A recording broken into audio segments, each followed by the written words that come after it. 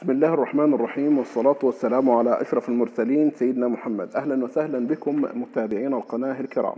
معكم مصطفى بشير. النهاردة أحبتي في الله معانا موضوع جديد من موضوع المصالح الحكومية.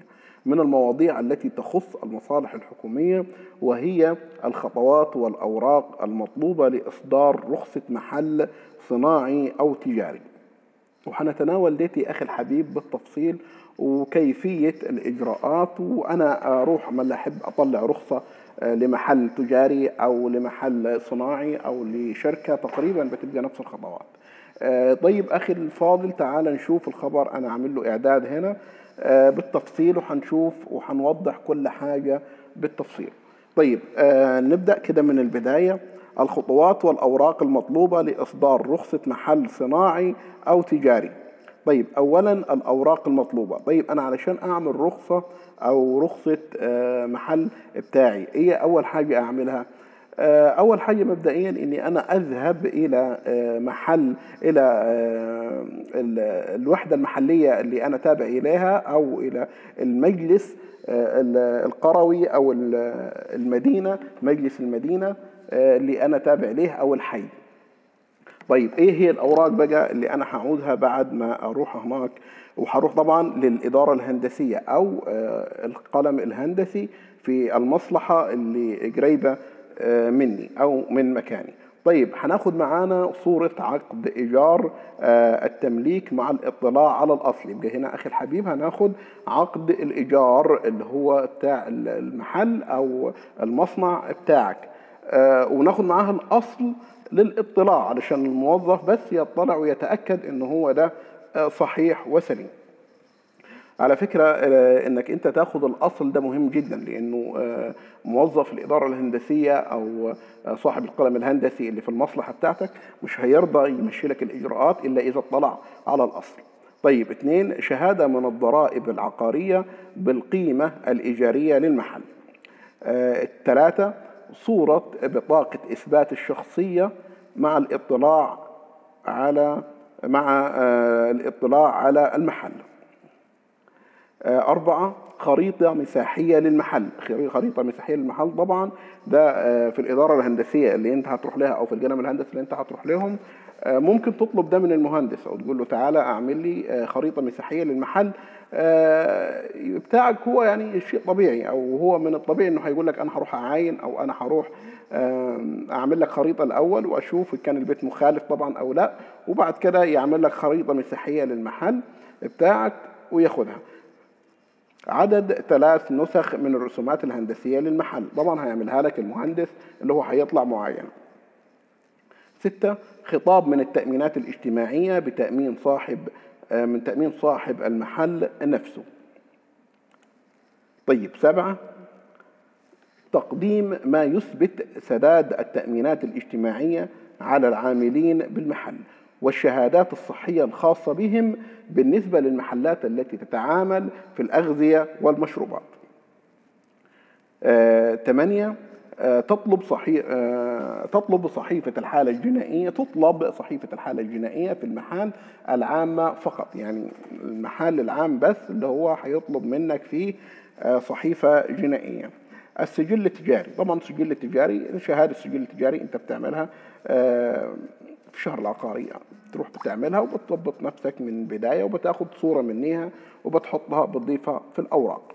طيب الخطوة اللي بعد كده آه وفيما يلي بيان لبعض الموافقات المطلوب الحصول عليها لبعض الأنشطة ويتم التقدم للحصول عليها من الجهات آه المبينة لكل نشاط. طيب يعني إحنا كده خلصنا استوفينا الأوراق بتاعتنا تمام؟ اللي هي آه صورة عقد إيجار وشهادة وصورة بطاقة إثبات وخريطة مساحية طيب إحنا خلصنا الخطوات بتاعتنا اللي إحنا قلناها دلوقتي دي تمام؟ آه فاضل على بعض الموافقات من الجهات المعينة اللي هو أنت بتروح تاخدها على حسب بتروح تجيبها على حسب النشاط بتاعك. طيب تعالوا نشوف بس علشان في النقطة النقطة الأولى دي مهمة جدا ودي هتشمل آه جميع النشاطات. طيب موافقة موافقة إدارة الدفاع المدني والحريق لكل الأنشطة المطلوبة للترخيص. يعني أي محل أي كان نوعه أي مطعم مثلا آه، محل لعب أطفال شركة صناعة أي حاجة نحتاج موافقة إدارة الدفاع المدني والحريق. طيب آه، رقم اثنين موافقة الصرف الصحي للأنشطة التي ينتج من تشغيلها رواسب.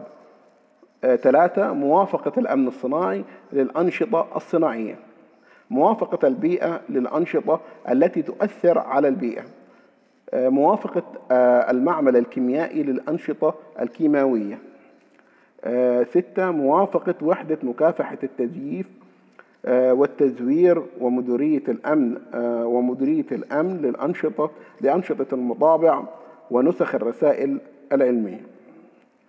آه، سبعة موافقة التنظيم لجميع المحلات المطلوب ترخيصها.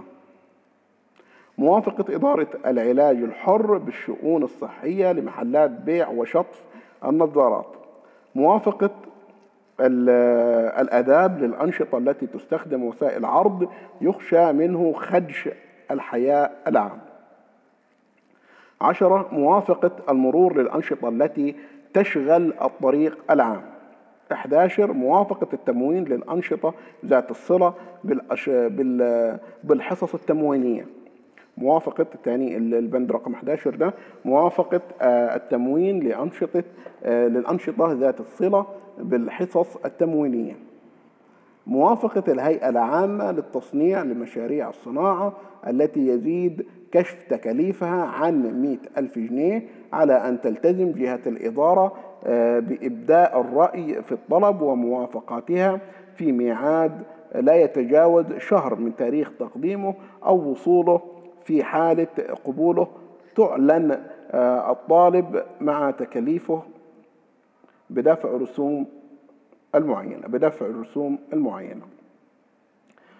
آه، طيب أخي الحبيب إحنا كده خلصنا الفيديو وخلصنا الأوراق المطلوبة وخلصنا آه، الشروط اللي هي المفروض تحصل أو الموافقات اللي المفروض تجيبها علشان تصدر لك رخصة تجارية لمحل تجاري أو صناعي. طبعا أخي الحبيب أنت شايف إنه إحنا طولنا في الفيديو وإنه الموضوع, الموضوع ديتي كتير آه وإنه هو ممكن يبقى صعب ابدا الموضوع بكل بساطة بس إحنا عشان بنقراه بن بنقرأه قراءة آه حاسس إنه الموضوع طويل. إنما هو بكل بساطة أنت هتروح آه الإدارة الهندسية في المصلحة أو الحي اللي عندك اللي تابع ليك وبتقول له والله أنا عايز أعمل استخراج رخصة أو إصدار رخصة محل أو رخصة أو رخصة آه، محل تجاري أو آه، صناعي بيقول لك والله أنت مطلوب منك واحد اثنين ثلاثة أنت بتجمع الأوراق اللي إحنا قلناها دي هم أعتقد تسعة آه وبعد كده بتجيب لك بتختار واحدة بس من العشرة دول إضافة إلى رقم واحد اللي هي موافقة إدارة الدفاع المدني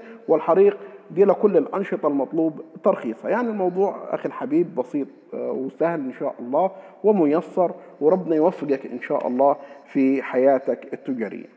آه طيب آه كده إحنا خلصنا الفيديو ما ننساش نعمل اشتراك في القناة عشان توصلك جميع المعلومات على المصالح الحكومية. وعشان تدعمنا بلايك وتعمل مشاركة للفيديو إن عجبك عشان تعم الفائدة. آه كان معكم مصطفى بشير دمتم في رعاية الله والسلام عليكم ورحمة الله وبركاته.